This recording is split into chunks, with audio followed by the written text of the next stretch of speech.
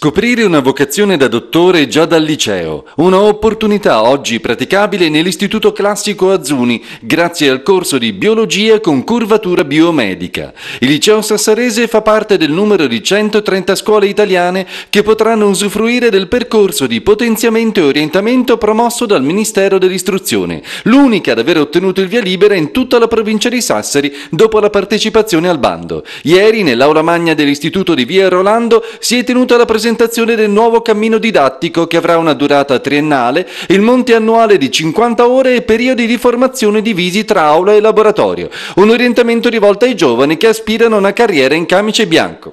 Sono ragazzi che già da piccoli possono avere al loro interno, nel loro cuore, questo anelito di, di essere di, di aiuto agli altri. E credo che in questo percorso loro possano già scoprire questa, questa vocazione.